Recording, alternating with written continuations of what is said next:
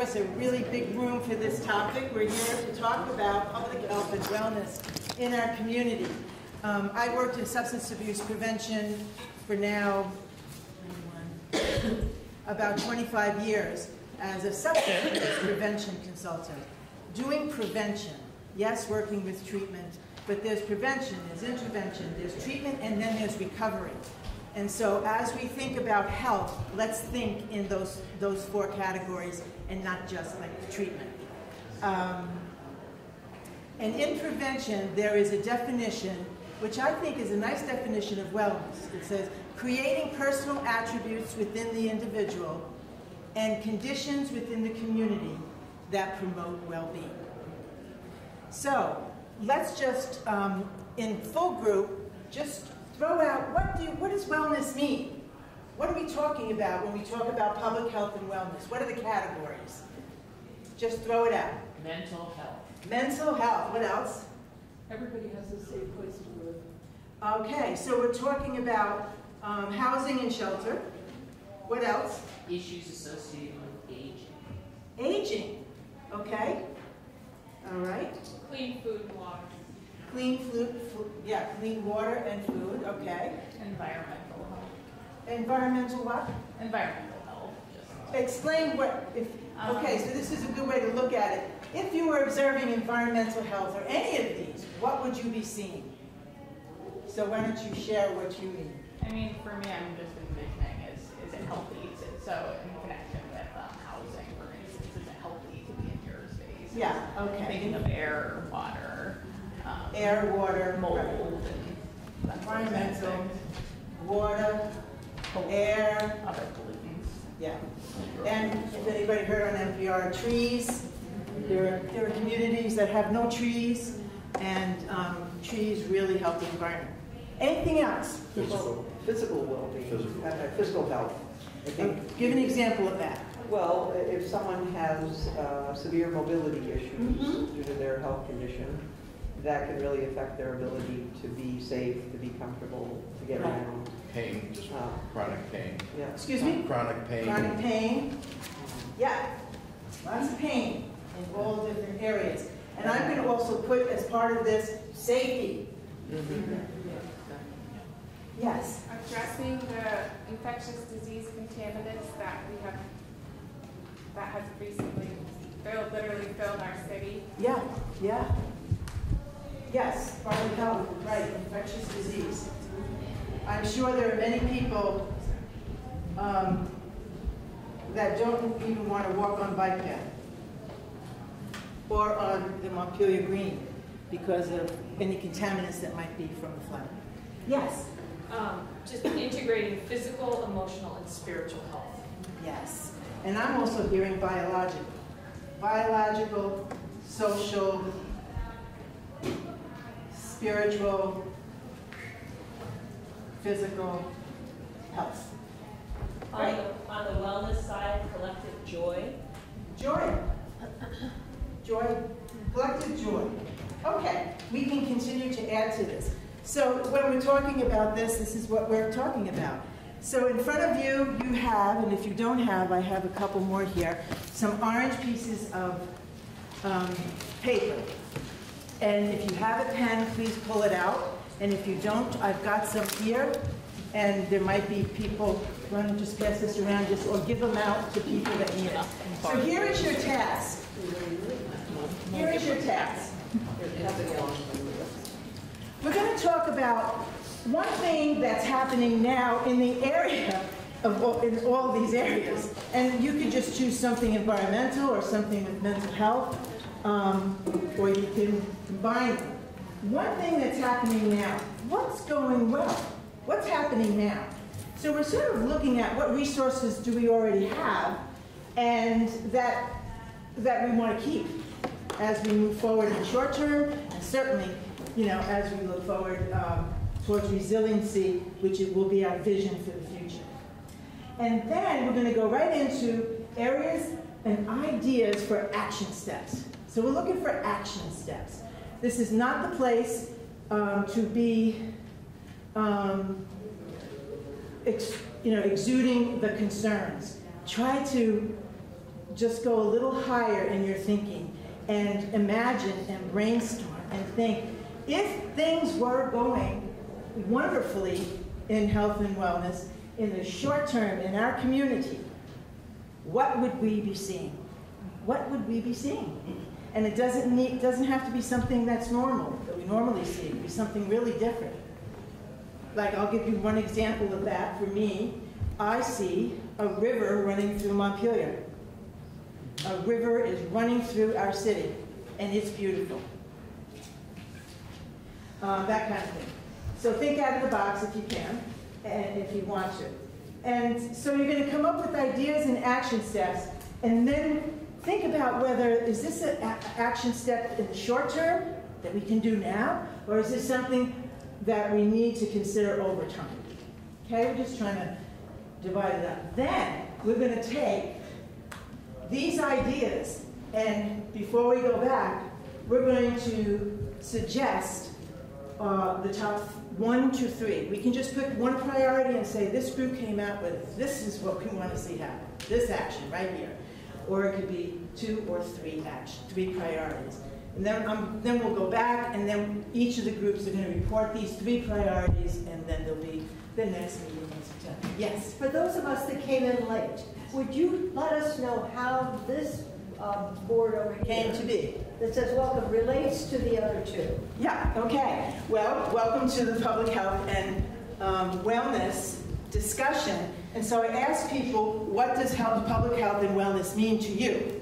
And I created a definition of creating attributes within uh, the individual and conditions within our community that promote well-being. Okay, so that's a general, that's a nice vision. Then I asked everyone, what does it mean? Mental, it means mental health, it means housing, it means safety, it means environmental health, it means biological, psychological, social, spiritual wellness. It means joy. We need to look at housing, mental health, aging. So that's how it came about.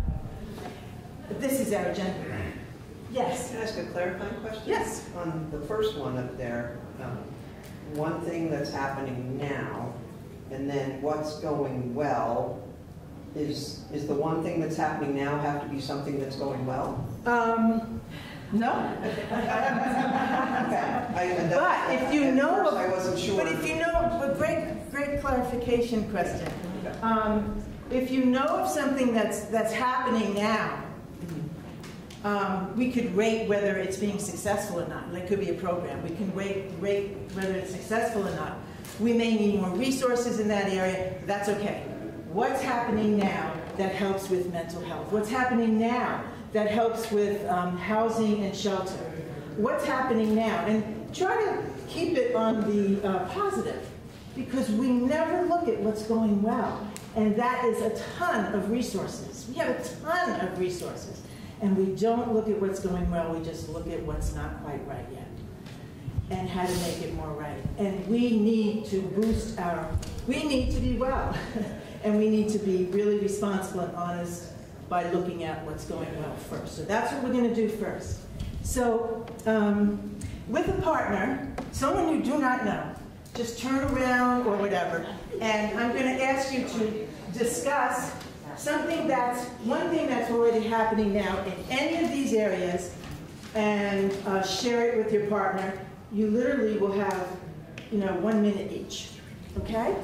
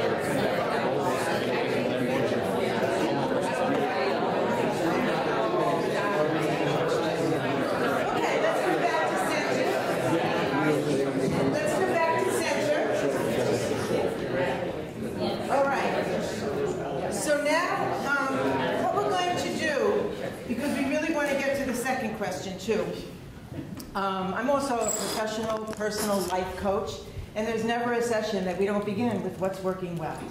What's going well? What are the resources? What are you grateful for? We never go there. They just want to talk about what's not going well. And one way to help what's not going well is to take responsibility for what is. Yeah. So, okay. So what we're going to do now, we have a very fast typist here. And his name is, is Tom Seth. So close, that's great. You call me I don't think uh, Todd is close to Seth. Okay, um, and you fast typist? It looks like you are. Okay. Can you share who you are? Uh, my name is Seth Leonard. I work for Vermont Housing Finance Agency. It's nice to be with you. Thank you for volunteering. Okay, yes, thank you for being here. Um, okay, so now what I'd like to do is, uh, let's just hear from some of the things that are going well and, uh, and we'll figure out what we'll do with the rest, okay? Everything's gonna be recorded at some point. So let's start, who would like to start? Okay, and I'm going to ask that we keep our responses to 30 seconds to one minute. And I understand that it's hard to do that, but this is not full discussion. This is getting to your specific idea as clearly as possible. Thank you. I, I I talk really fast. Can you say your first name? Uh, My, my name is Tori Rodine, I'm a social worker in town. A great thing that is happening right now is there's a position for a mental health interventionist with the police force in Montpelier and Barre. The uh, not great things, it's been open for about a year and turning down the job because it is underpaid. Mm-hmm. Please add funding to that. Please add funding to that job and then get somebody really good in that job. Is that an action that you're proposing as well? That's absolutely an action. So you just didn't, yeah. And so you want more funding for mental health intervention? We're, we're funding specifically for the position. For that to. Embed a mental health, a mental health um, interventionist with the police force. The funding right now, I think, is the only obstacle. Um, And that would, from my point of view, it would, it would go far in terms of the, um, being of support to some of the most invisible people affected by the flood right now. Thank you. Um, Go ahead. Introduce yourself. My name's Eric And this Dorn, program. with the police department, Yeah. so to, I, I'm not here to squash any ideas. We did Yeah. put in for another twenty-four thousand, Good, twelve from, thank you. twelve from Yeah. Barre, twelve from Montpelier. Wonderful. The money isn't the only issue, it's finding the right fit. That's a challenging job. Okay. So it's keep it, you know, people that would like I, I, I, I've been, I've so- been, I've been Okay. trying to, I've been trying to assist in finding the right person. I don't want to take up too much time, but we did ask for the additional. Yeah, Okay. thank you, thank you. That's a perfect example Yeah. of what's going well, even though it's not going really well. Yeah, But but it's, it's- but it's there. It is- We didn't get the money. Okay, let's go around the circle here. here. didn't get the money yet, you We didn't get the money, right, and we may not. You didn't ask for They- it. they- We don't have any. Do you have anything you want to share? My name is Lisa, and uh, Mutual Aid, Community Connection, Community Organizing. And what's that, mutual aid? That's going well. Um, folks showing up for each other, coming to the tent at Montpelier Alive, volunteering, helping strangers. Can we give a hand for that? That is such a strong resource that's going well. People are coming out of the woodwork with hope, with love, and with their physical labor. Yeah. Yeah, my name's Daphne. We had, but we were on similar wavelengths around community connection, and so I think um, people, instead of moving in their individual lanes, coming together, I've, I've seen people share contact information, really check, check in on each other, people they lived next to. I know that's true for myself. I've become closer to my neighbors because of this, and it's been a catalyst for Great. making those connections. Thank you. Yes. Okay, Yenny, with the flood having stopped two feet from the Pioneer Apartments, Mount, Mount Holyoke, listen, Montpelier Housing Authority is going well. They're caring, aware listeners. A lot of people have been displaced, and I go back and forth in and out of my apartment watching them do a really good job taking care of people. That's nice to hear, isn't it? Yes. I don't hear that up at Mary Hill where, where I live. Yes. Uh, I'm Thomas, and I was mostly focusing on housing as well. And so, uh, what I thought of as going well is we do have some low-income housing that is state subsidized and is high and dry, out of harm's way. And where is that? Let's, let's name it. Uh, I know there's some up on Berlin Hill, and then where I live in Plainfield, which is, you know, in the Montpelier area, is, Mhm. is, uh, what was, was safe as well. Great. Also on Elm, on um, Elm Street. El- Elm Street has some, and um, The transit center. The transit center by what used to be the Econo Lodge, which, what's on the Barre Montpelier Road, and housing, we also have the Good Samaritan Shelter. Um, All the down street properties And down street. Daly, Yeah. they're all good. Okay, Thank you, Tom. Uh, my name is Carolyn Wesley. I'm here tonight representing Congresswoman Becca Balint, but I also am a Montpelier resident. And um, I, uh, my two things, it was interesting to talk with Shannon about our different perspectives on what, what was good or could have gone well better, but that there was an attempt to feed the entire community in the days after the flood. That seemed like something I hadn't seen before. Um, and then also that there has been a continuation of community events like Mountaineers, like Park Palooza, like concerts and plays in the park, and even with a lot of our infrastructure down, many of those um, joyful, I have a little kid, particularly family-focused events. It's been great to have that continue through the summer. Yes, I would, I would include in that Montpelier Alive, bringing us cultural and family events and community events. In the farmer's market, yeah. And the farmers Yeah. market. Yeah, all these things need to be a list. We need to keep them up on our wall while we're feeling desperate and feeling like, oh my gosh, what's happening to us? Yes. Hi, my name is Shannon Bates, um, and I will be honest, um, it's difficult for me to see at times the, um, what's going well, being a, a business owner, I have a business owner, in the middle of State Street that was destroyed. What business? Uh, it's called Enna.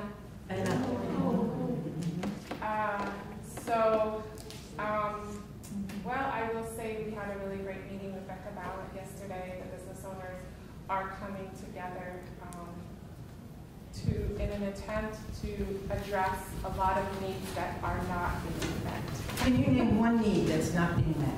Well, the reason I'm in this meeting is because um, we have not had any support from the Department of Health um, or the state as far as cleanup guidance.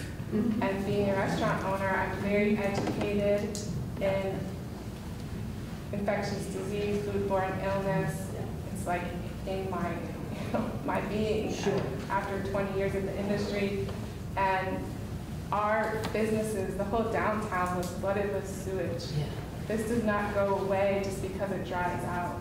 There's, I mean, the list of infectious disease that are still present in the community that has not been addressed is hard for me to wrap my head around. Um, the health department is not even doing re-inspections for opening business restaurants.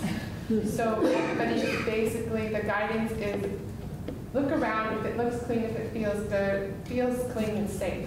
And that's not a reality. So that's an action item that I'd like you in small print to put on your, this, these two pieces of paper. You can use front and back, because the next thing we're gonna do is put your ideas on here. That one really needs to go there. Um, uh, Protocol and- and developing a relationship. Health and wellness is all about relationships. It's all about relationships. Developing a very strong relationship with the Department of Health and health organizations. Um, We're going to go back there. We're going to just shake it up a little. Um, George?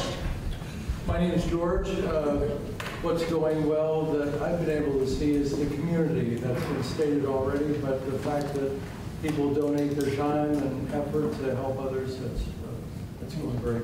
I know, it's very inspiring. Yes? Zanny, and it's my name, and I, I had the same thing. The Montpelier Alive just did an amazing job of coordinating and getting people. Yes. How about over here? Your name? I feel that we are becoming the city more of a family, that we're recognizing the individuals in the city and understanding some of the problems that are brought up by this uh, crisis that's happened to us all. So I'm hearing that you're, you're seeing and feeling more connection, and there's more communication. Yes. Yes. Okay. Thank you. Uh, I'll just echo what um, Shana Casper, echo what uh, was also said about just, uh, providing food and dehumidifiers and fans and shovels and the commu- that, the, the provisions was really great. Yeah, yeah. Okay, now we'll go to you. Oh, yes, uh, Deb Reed, um, and I just think it's awesome to see churches may have been flooded, but they're showing up every day, making, putting lunches out in front of Christ Church. Yes, I would like to um, actually have that go in there, a coordinated effort by our churches. um, Continue to provide community lunches and warming shelters for those that don't have housing. And that warming shelter really comes into play when it starts to get cold and there's no place to go until you can get into a shelter, even if you can. It's like 6 o'clock, 7 o'clock at night. So at 4 o'clock, there are warming shelters. That is fantastic. Yes. So I'm Tanya. Uh, One thing that I think that's going well is that our schools are starting and opening on time, on schedule. I think our young people need as much predictability and normalcy as possible through all of this. Yes. Thank you. And have any, yes. Um, Well, I, I sort of two things at once. Um, One of the things that's happening now is that in walking around town, there is still a lot of toxic silt and dust everywhere. It, it basically got shoved aside in the public areas. Um, And I think that's a concern on all levels. It's mentally, reminds us of the flood, it feels yucky, and it feels dangerous. I'm hearing that as an action step. And I have an action step, a really specific one, which is the Green Up people are coming on Saturday, and they are looking for projects to be defined for them. And I would hope that the city, with proper gear and, and safety precautions, might put some of those volunteers to work to clear up some of the silt that's in the particularly high-traveled walkways and things where people are taking it up, they're getting it on their shoes and taking it home. Every time it dries out, every once in a while when it dries out, and we get, you know, the So wind blowing. who do we contact for that, to get that list?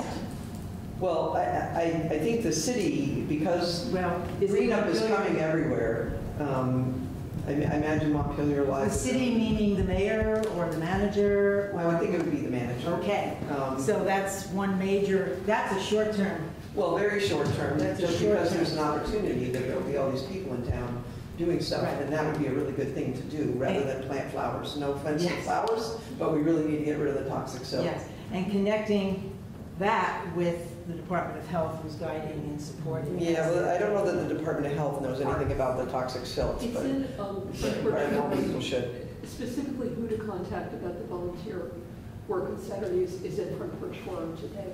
Okay. And there's links. So if you could put that call out and then maybe put a special call out on Front Porch Forum just for that, great, thank you. Yes, sir. Uh, My name is John. One thing that I think worked well was the night of the- the rain. S- I- I'm assuming it was a Good Samaritan organized uh, to pick up a lot of the unhoused people downtown and take them to the shelter because all of their campsites were just devastated. Um, I don't know who organized that. I'm assuming the shelter Anybody? did. Um, You assume the shelter. I assume the shelter organized that. Um, What's that? Good Samaritan Haven. Good Yeah, so that, so they, they organized and that seemed to go well. And the Good Samaritan Haven works hand in hand with Another Way, which is a place for people to go during the day um, who are experiencing uh, mental illness and also addictions, or anything that's disturbing or challenging for them. Could I throw one thing into that that's related, which is? Actually, we're going to move on, making sure that everybody gets a chance, and then I'm coming back to you. Okay, you, sir. Hi, I'm Todd Daloz. I actually am just here to listen, but I appreciate hearing some of these concerns. I'm from the Agency of Human Services, and so I'm more of a resource person, but there's a lot here. Can you say uh, what you do at Human Services? I'm the Deputy Secretary. Okay, thank you. So you're really in leadership, and thank you for being here. Yes. Hi, uh, hi, my name is Emily Hawes, and I'm also here um, for two reasons. One, I get to be the commissioner for the Department of Mental Health. Um, and then two, my wife owns a business in downtown Montpelier. Um, so we've been directly impacted um, by the business devastation um, downtown. Uh, So I'd like to say just kind of two things from what I'm hearing, if you're okay. Please do, yes. Um, It's wonderful to hear about community connection as we're looking at um, our highest rates of uh, people dying by suicide and subs, uh, overdose. And, and connection to your community is one of the main things that um, can support folks um, in being successful um, and living happy, healthy lives, is that they feel connected and um, valued by their community. Um, and so I just want to highlight how important that is for humans. Yeah. That's right. And the way we do that is we communicate and we talk and we, we just, we are, we listen and we're present. We develop a relationship. Yes, sir, back there. Thank you. Thank you. My name is Nick Moreland. Uh, I work for the Vermont Center for Independent Living, and I'm also a Montpelier resident. Uh, I'm kind of living in the past right now because I'm trying to follow captions on YouTube, which is delayed. So I'm not going to hear a lot of you until 10 minutes later, but we'll get back to that. Um, I want to say what's happening now is that the disability uh, community is really stepping up for the disability community. And uh, I don't know if a lot of folks know that the deaf community did not have ASL interpretation until almost, almost two weeks after the flood. And not as many people in the deaf community were directly affected, although many were. And I saw a lot of people stepping up on their Facebook pages and sign language interpretation for each other. Like I said, I'm severely hard of hearing. A lot of the press conferences and such are still not captioned. And um, so I'm looking forward to chatting with everybody. Can you that. help us, um, uh, can you work with whoever can, is in charge of this emergency service, like for the? for We're the- working. You are, so you are connected to people? we can't do it alone. No, of course not, that's why I'm saying. So write that down on your orange sheet for an action step, and we also have set, I'm also recording it. So, um, may I back, oh, sir, ma'am. uh, Um, yes. Ma'am. Um, I, uh, yeah, I mean, I think, I think one thing that's going well is that, the- is that the city is convening meetings like this, um, and, and sort of opening forums to people, for people to, to speak really about what's going on. Thank you. Do you, um, one thing that's going well, my goodness, we need to hear that from you. I, I know that you have that program that we talked about, but yes, for Yeah, You you. know, uh, I think it's brought a lot of different resources to one table to build relationships. Uh, So, you know, once we get into recovery, which we're starting to go into now, those relationships that we have want to get us a little bit further along, hopefully a little quicker. I, I feel for you on the state. I I dealt with the state during the first 48 hours of this flood, and it was a challenge at best, so I was very compassionate for that. That's not going on. But uh, if you can get me my 24,000 too, I appreciate it. What's one, what's one relationship that you especially um, connected with, or are connecting with that you hadn't before, that you really feel is increasing our well-being? Sure, yeah, I mean, we have an incredible relationship with Washington County Mental Health. Um, And then we, started a crisis intervention team, so we've actually brought them kind of a non-traditional uh, crisis intervention team where it's not just going to be law enforcement, it's EMS, it's screeners. And we felt like uh, that that fit our community better than what the standard box was for CIT. So, you know, we're, we're kind of making it our own. And so those relationships that we have going forward when we respond to these calls, it's not just the cops and it's not just the firemen or whatever, but it's us going together. You might see us there first because we're the ones that get the call, but knowing that those people are coming is, is pretty good. And that, you know, I also want to applaud, and I'm sure all of us here, there's not much, men- there is mental health, but if there is, we don't know. We don't know really. And, um, and this connection, where now a mental health person is there with you, responding, and you making referrals to them, and all that, is a very powerful program that I would we want to keep in the long term. But Yeah, and the big piece that we added to it now is the substance abuse piece of the turning point, so that kind of That's built right. the triangle for How us. many people know about the Turning Point Center in Barre? Okay, not everyone. It is one of 14 centers in the state where anyone in the world traveling through Montpelier or Barre can go into this place and find like-minded people, be welcomed without judgment, and who are uh, struggling or ready or wanting, but yet not doing it yet to uh, address their addictions. And we've, we've got people from presidents to presidents' wives, right, you know, through the community, um, uh, someone who's homeless, you know, needing those services, and they're free. Okay, and that's a major, that's, and now the police are connected with people who are inebriate or on opiates and drugs, and doctors are starting to get connected. It's, great, you know, to have those relationships working together. Um, My name is Kimberly Pierce. I'm a medical provider and a trauma educator. And one thing that's been really working well is I've been working at the, the food pantry. And we, we were serving at least a couple hundred people with food, you know, from all the area. We were actually working with the Rainbow Bridge in Barre. And it is like the, the food pantry volunteer network is like a well-oiled machine. And right now, we're in a temporary space because we were flooded out and we have to move. Um, And where are you going to now? We think we're going to the back of the city center, basically in a couple of closets. Um, But there's also um, interest because so many people come into the pantry for social time too.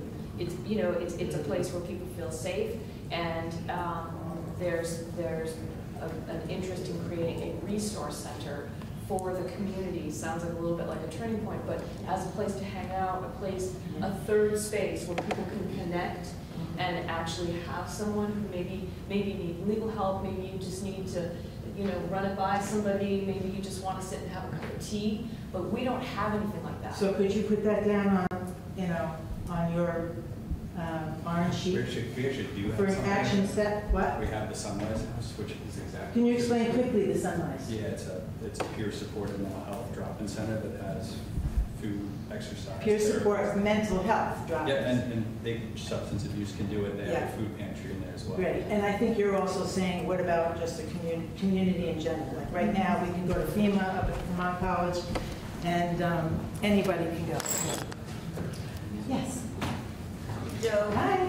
Hi, Denise. Um, yeah, it's been said. I talked about community connection, um, and what I noticed is it got down to the real nitty gritty in terms of someone opening their home so people could take showers. Um, that, that's really, really strong community. Um, and just to talk about the toxic silt, I was wondering where the garbage cans are. They remove them so they can pressure wash the sidewalks and also the streets. Good to know. That's happening When we get upset that we, our garbage cans are not there. Um, Okay, Martin.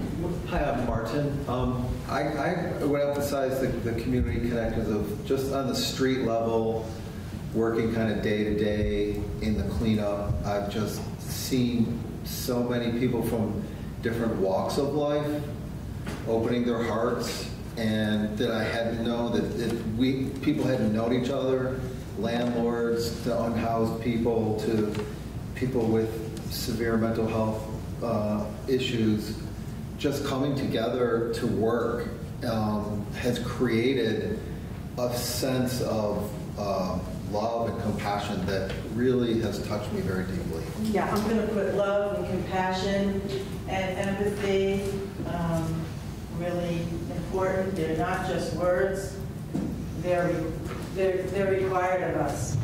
And, and the small touches that have emerged since then, um, you know, the flowers, I think, have been really beautiful that some stores have put out, and um, some artwork, like uh, the poem in front of uh, the drawing board, if anybody, please see that, it's very beautiful. Um, So some of the art and the, the, the natural beauty that's emerging has been really quite um, touching and beautiful. Thank you so much. So I'm putting here, whether it's short-term or, or long-term, we want community connections to continue and even get more intense. Yeah, okay, that's good. Um, Yeah, echoing what others have said, um, Rainbow Bridge Community Center in Barre, um, I I see as being a very positive resource, connecting, um, connecting volunteers who, um, to, you know, local homes in need of uh, volunteer efforts, as well as just being a, a hub in Barre for the LGBTQ community. And yes, and thank you so much for pointing out, a number of you, that this is not just about Montpelier, it is about central Vermont and beyond. Uh, Did everybody get a chance to speak once? We're going to take you, and then we're moving on to the next question. Um, One, something that went well was the incredible way that the young people turned out to help in the immediate aftermath of the flood, and I give a big shout out to Alex from the Parks Department, who did a lot of the organizing with his um, Conservation Corps kids. But What I'm concerned about, and, and that is happening now, look around the room, the youth are not being engaged in this process. I don't know what kind of outreach has happened to invite them or encourage them to join these sessions, but I was, there were more folk, younger folks at the first meeting. But I, I think something that needs to happen mm-hmm. is a more, a bigger emphasis on outreach, especially as school comes back session. Like youth. To get those same folks who volunteered to talk about what they want to see and what they feel is needed as we go forward. Well, you can put that down there. It can be done in the schools where most of the youth are. It can be done in certain athletic groups even. We can put that down as a very specific action step that really can be taken in the short term. Okay, now we're going to move to um, your ideas. And hopefully they're in the form of a specific action step. Um, Let's just come up with a couple of ideas before I have you go into a small group just for a few more minutes, so you can each inspire each other. Um, I'm going to throw out an idea that I feel strongly about. It's not just me. It's going to be, it really falls under long-term, and that the legislature, the state of Vermont, make mental health a number one priority. This is, this is me, okay? Don't have to agree with me. Um, Priority. Um, It is time. Yes. It is time to learn about it, to understand it, and, and to hear from the experts what we can do about it. And, um, and we are doing good things about it. Remember, let's never forget that we're not. But we need a more comprehensive approach with targets, multiple targets at, um, you know, at the, uh, the goal. Thomas, you have one. Could you just share one? Because we talked about it earlier. I just want to give an example. Um, yeah, well, I mean, I kind of have this, this short list of a few things, but mo- long-term, it's moving from a rental town to a homeowner's town, where everyone owns the home that they live in. And that, how is that possible? You're thinking out of the box. So, so so, short- so paint the picture to us. Short-term, it's eviction moratorium, rent control, you tax rentals and Airbnbs more, and then you have the city provide zero-interest loans so that renters can buy out the property they live in. So there are ways. There are ways that other communities throughout the United States and other parts, of other countries do this. And, uh, okay, thank you. Another idea that you, you know you want to include right now, and yes, Just bouncing off of that, we also just need a lot more housing. We've lost a lot of housing, and we need to just build a lot more accessible, affordable homes. acceptable, I mean, acceptable, affordable homes. Where? Accessible. Accessible. Oh, yeah. Yeah. Access, I'm sorry.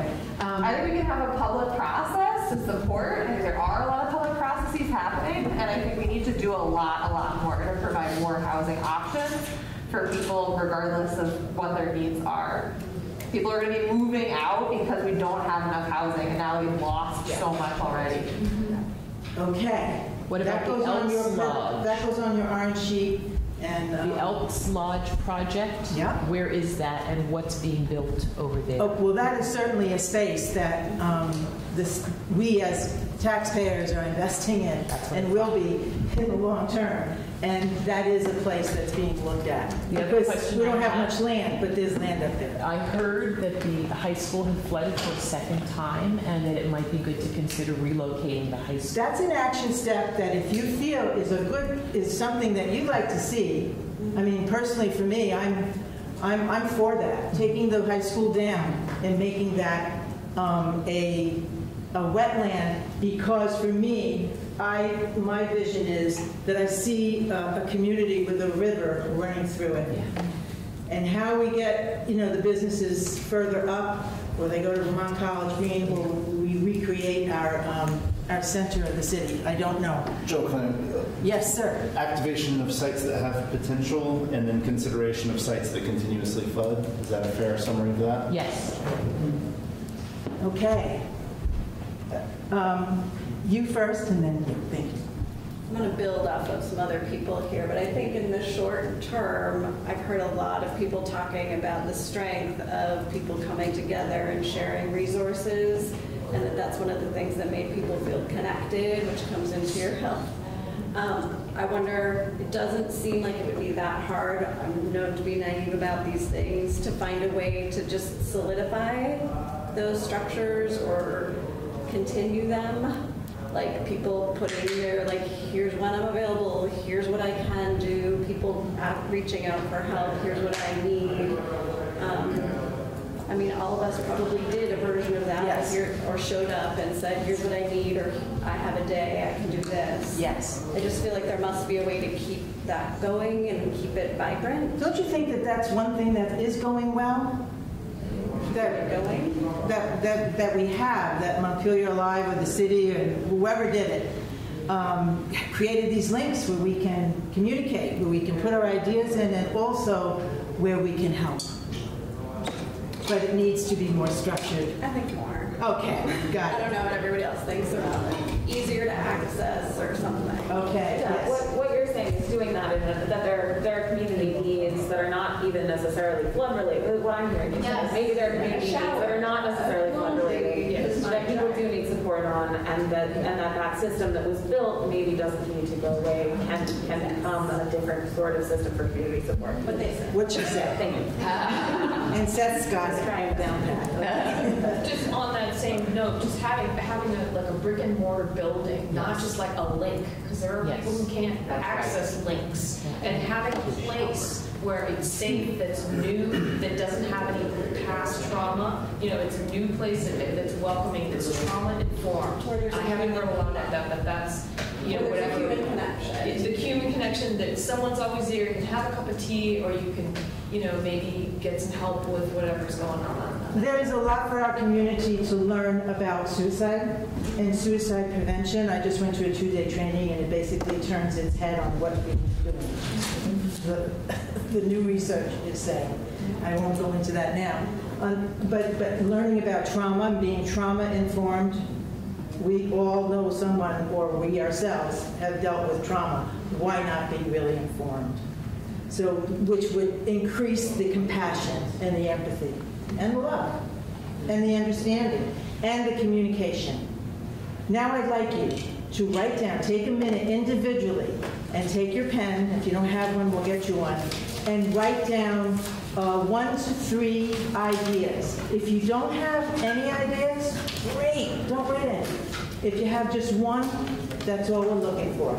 But if you have three or more, write them down and then after you do that, I'd like you to prioritize them as what's most important for you and you- in, in your view of the needs of our city and what we've been sharing. Just take two minutes to do that. And that includes everyone here. Um, If you have some ideas as well. Officer?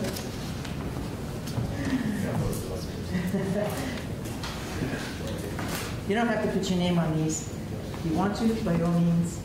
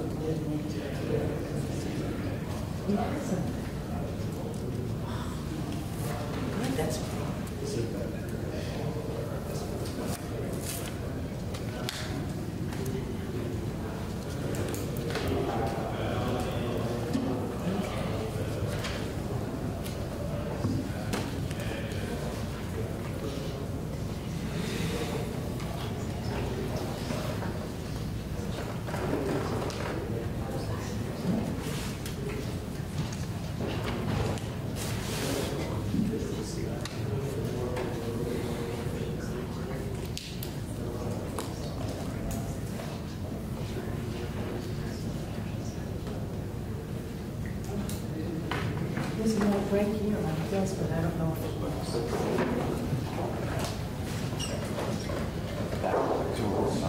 Okay, another minute. Now prioritize.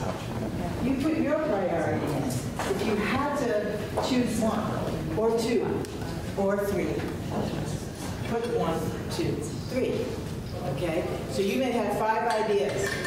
We do want them all, so we will collect, I hope you're writing, so we can read. We'll collect them um, and put them in But right now, what I'd like to do, because we only have 25 minutes left, before we have to go back into full group, um, I would like um, maybe the back table. This table will go first, and we can start, what's your name again? Shannon. Shannon. Shannon will, if Shannon and everybody in the back, back, just stand up and come around. Oh, and I don't know if these are, well, just, just, we're gonna put them on here, but I don't have tape. And some of them won't stick. They stick, but it's okay. I- I'll hold them if they don't don't stick. So why don't you just come up and read your one to three ideas. Come on up. Thomas, got more? Come on up. Are we trying to like stack like upon like and like find the priorities? Is I'm sorry, I didn't hear you. Are we finding the priorities? Are we like stacking like on like? Uh, I think, you mean, if, if, if you both have a similar, yes, we'll do that, and put that in minutes, but we're not gonna do it right now. Okay, so, um, and then if this side would come up, and if you don't have anything, don't come up. Uh, So this whole table, so if you could speak loudly and share. Uh, Yes, I think our priority needs to be the flood, dealing with the disaster. Um, We have, we do not have a town right now, um, or downtown, and I think that the priority should be to make it safe, meaning healthy and viable. And what's one way that you'd like to see it made safe? Healthy and viable? Uh, I would like to see that, I would like to see um, whatever section of the government is responsible for public health, there hasn't been anyone that's really stepped up. Give businesses guidance on how, and landlords, how this needs, how to make things safe. I have been boots on the ground through the entire process, and knowing what I know, I'm not sure that I want to work downtown. I don't, I don't travel bike yet for that reason, because somebody raised my awareness about. Yeah, I don't think the public is aware. Okay, thank you. Yes. Okay, uh, number one, um, this is my dream, a clean, dry apartment for everyone who wants it by the end of October. Two, NIMBY-proof, small three to five person group homes for various peer groups, mental health peers, alcohol peers, uh, moms who were running away from their abusive people peers. And number three, move the high school to a higher ground. Thank you. And I'll take it. Thank you. Um, How about you? Warren? Yeah, so I, I actually built on what you were saying.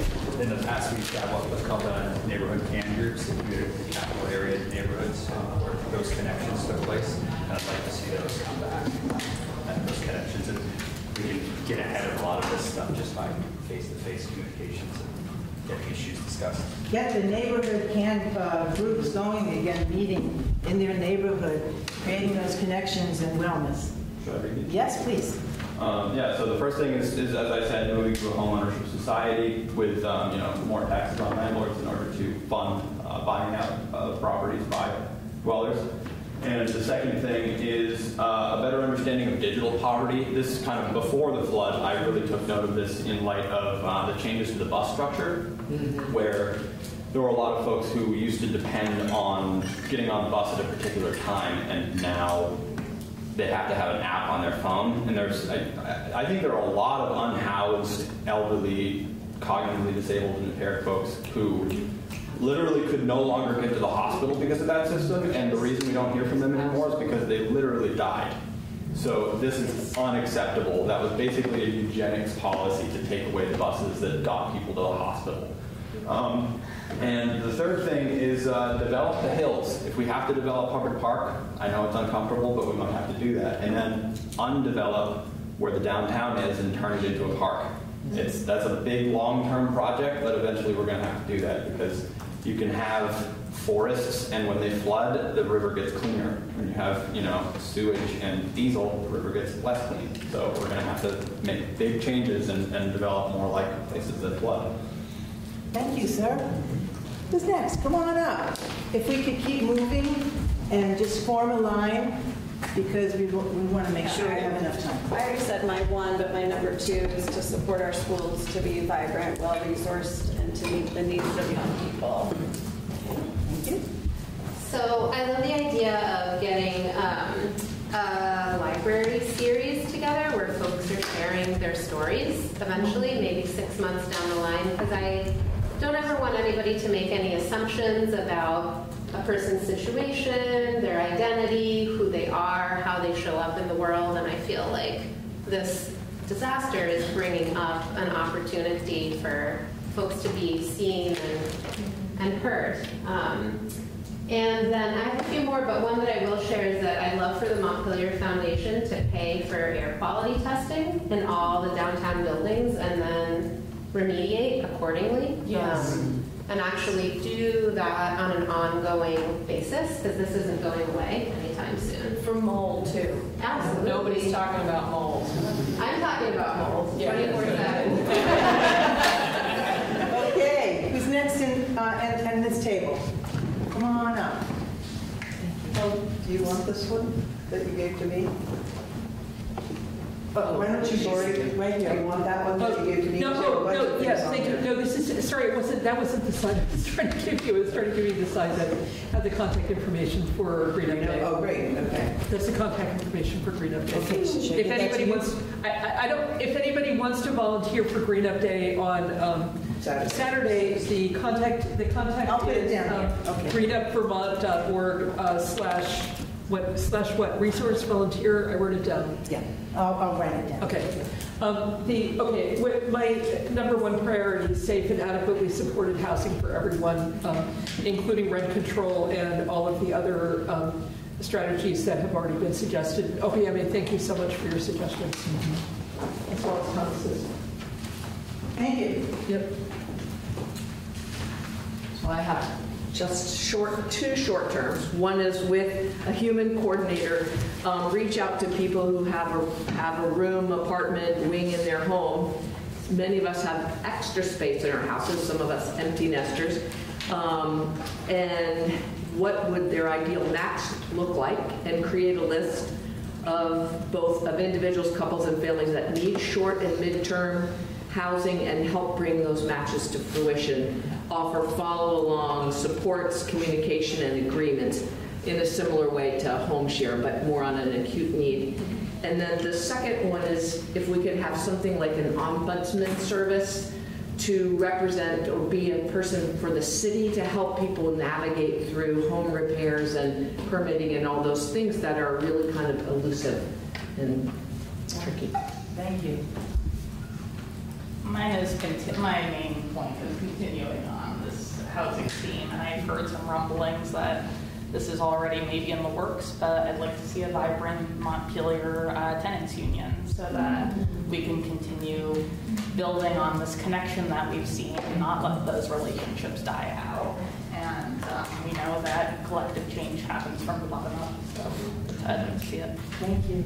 Okay, this group right here, half of the room, come on up. I think I've already talked about it, but creating more third spaces, like a place where people feel really comfortable, that's not, you know, a rehab center, but it could be, could be for everything, um, in Montpelier that also helps us feel a sense of purpose, a place where you go and you can actually volunteer, you can help out, you can connect with all these things. Um, and yeah, having peer support, trauma informed, trauma informed, trauma informed. Thank you. Yeah. This is very aspirational, okay? Yes. Very aspirational. Um, but when people are in crisis, sometimes they need an attorney right away and somebody who's going to be on call, ready to go into action for free. And I'm saying it's aspirational. At People's Health and Wellness Clinic, medical practitioners go in there for free. We have a lot of attorneys in Montpelier, so There are, there is, uh, the Central Vermont Economic Development Corporation has a blood relief center set up in the old Ladrier space in the city center. For those of you that aren't familiar with, it's the empty space to the right you're facing. And they have free attorneys, free, um, like, financial consultants. I do believe that at this point, the attorneys are not there all the time, but you can go in there and get an appointment with one or a phone number with the Vermont Law School. I think anyone can. Okay. It's a So flood that's center, great, and that's for the flood. We have attorneys in Montpelier who live here, who can be on call when something goes down, maybe help with the police team. You know, um, if there's an RFA that's needed, I'm talking about nitty gritty help that people need that they cannot afford. Thank you. And involuntary commits who need to get out of there because they don't belong there. And she is a lawyer. Okay, come on up. Come on up. And this group, you ready to come on up? Two, stand in line. Uh, I'd like to see access for all, that means plain language, American Sign Language, captioning, uh, websites usable by screen readers for the blind and visually impaired. And my biggest priority is what we like to say, nothing about us without us. Thanks.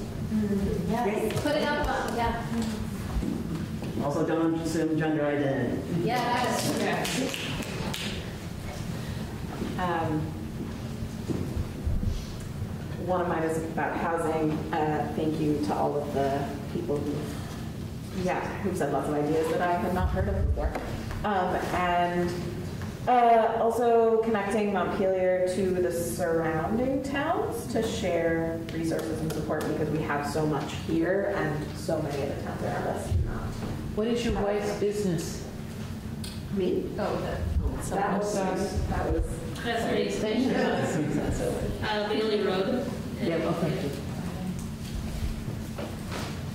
Uh, The thing that I would like to see is uh, homeless support services continuing. I know that homeless support has been there, but it relied so much on volunteers and the coordination was difficult. It would be great if the city and the state were more supportive of homeless services and we moved it from volunteers to maybe more professional service.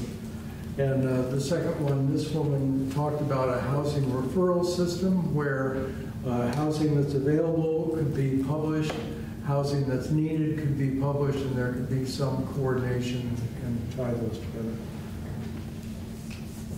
Great. Yes, come on up. Yes. Martin and friends, yes. Uh, yeah, affordable, accessible, new, safe, resilient options for housing.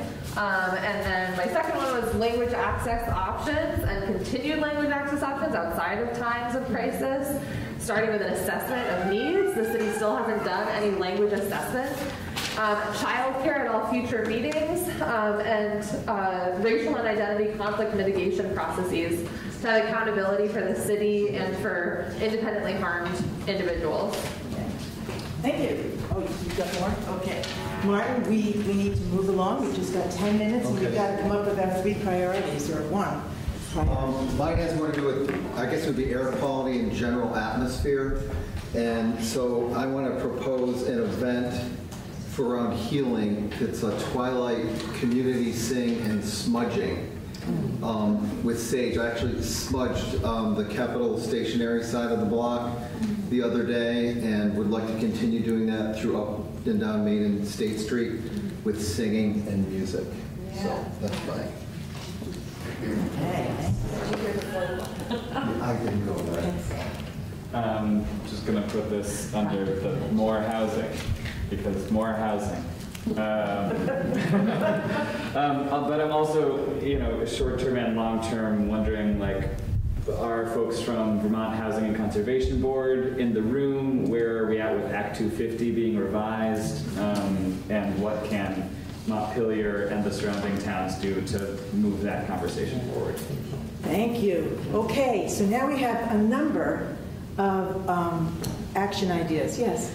Um, This is, sorry, this is back in the realm of um, mental health, I realize this is a great opportunity to let people know that the trauma, um, trauma response network from, uh, EM from the local EMDR network is um, available to provide up to 10 sessions of free um, EMDR trauma therapy um, to anybody who needs it. And um, I can give people more information about how to get in touch with them if you like.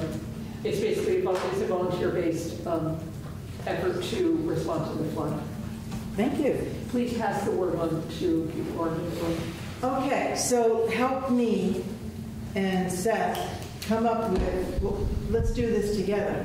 What were the key categories? Housing. Anything about housing in particular that you heard? Inadequate at this moment. Okay. Housing the need. Okay. Affordable, affordability. Uh, uh, Okay, so housing, affordability, and places to be, and everyone gets housed. And I think immediate solutions, I mean, like the country club project, that's 10 years down the road, but the home sharing, you know, somehow coordinating people who've got space with people who need space, um, is a more immediate, you know, short-term, either short-term in the sense that someone's needs are short-term, or it can be implemented more quickly than building stuff. Because Okay. winter is coming. So it's clear, housing. Uh, What's, what's another priority? Mental health, Yes, and what about it in particular? uh, education, resources, and um, support. Safer spaces. And recognition. Third spaces. Are, are we trying to come to a number one suggested action step? Is that what we're trying to do? Well, right now. As opposed to general categories? Right now, um, what we're hearing is, is that housing is. Right, but which. But mental what health part is of too. We don't know. We're not at that point yet. Okay. I thought that's what we were supposed to bring back. Yes, it is. Um, Detoxification. Yeah. Cleaning the air, cleaning the ground, cleaning the spaces. Mold. Mold, bacteria. Cleaning, yeah, testing. Yeah. Cleaning, testing, and also information sharing about Yes. that seem like, seem like sort of the category that is there. Awareness. Yeah. Okay. That's a short term, right? Yeah. Um, What else did you hear? What would you really like to see right out there? Okay, let's take housing. What's one specific idea that really jumped out at you? And we said, short term, work with the resources that we have and the people in our community to find places within homes. Okay? And is there anybody that does that already here in central Vermont? I I mean, I know Home Share is up in the. Home home share, home share is also here. It is. And I wonder if even like the senior center could be a hosting place for that network. Yeah. Okay. So, um, and, um, and mental health, making it a priority in legislature, in this town, and in our larger community. Um, So let's say we've got three things here. Um, Which one goes first? Housing, mental health, or cleaning up, testing, information sharing, detoxing our air, water, and streets? Well, we're, what's, what's the rating system like gonna give, right? What, uh, uh, for, um, in order to know how to rank them, I Okay. would like to know what the rankings will be Which which one do we have the best leverage um, in our community? Which one do we have the most, um, you know, resources, energy, um, support? That could be something that gets done quicker than something that doesn't. Yes? I mean, if that's the, realistically, the thing that could be probably get done quickest would be cleaning up all the toxic mud and stuff. Yeah. Safely. Yeah. Yeah. And by, and then certified by some credible entity. But I'm saying we need to look for ourselves for the resources rather than looking at the government right now, short term. Like, you can look some of this stuff up on the internet. That's what I'm saying. That, that's a short term, number one priorities. Yeah. detox. But, uh, but uh, maybe a community group that comes together to work on this, and you're in it. The issue is that there has been no stan- standard set. Right. And so you have this guy over here doing one thing, this building hasn't even been demoed yet, so you know, I mean, my walls were opened after two weeks and the mold was this big. So how thick is it in a space that has not even, the walls haven't been opened, the floor hasn't been removed? So, but there's no, there's no standard for what needs to, the bare minimum of what needs to be accomplished to allow the public into a space. I get there's a debate about people, people's homes, you know, they do what you want, but when you're having the public. I'm gonna, I'm gonna interrupt you there. Um, So, can we have come to consensus that this be this, our first priority? No, O- only because I'm hearing this person say, we don't have the leverage to make it our first priority and have it really mean anything. So at this point, I'm concerned that maybe it should be third. No, that's because- not what I'm saying. Okay, okay. All right. Yeah, okay. Um, If this is a priority, we're gonna make this happen. We're gonna get the standards in, we're gonna call the people in, and we're going to hurt, you know, pressure on And let's them. make a place. Housing? Create more housing healthy first. Yeah. So finding homes for everyone before winter, before the cold really sets in. And that means for everyone. So is that a good, doable, short-term?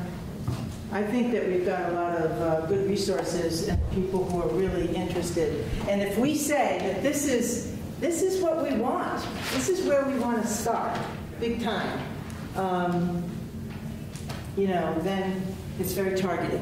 And then mental health. What about me- mental health? For me, I want it as number one priority in the legislature. Um, But um, what do we want for mental health? Yes?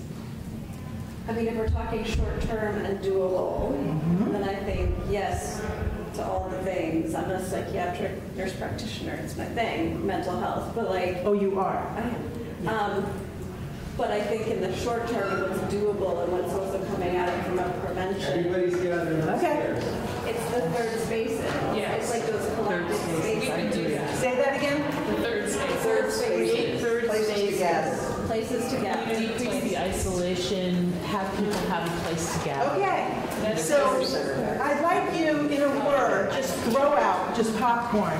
Um, What did you like about this, this meeting and time together? Let's put a close to this. The moderator. Facilitation, thank you. And what, um, what else did you like?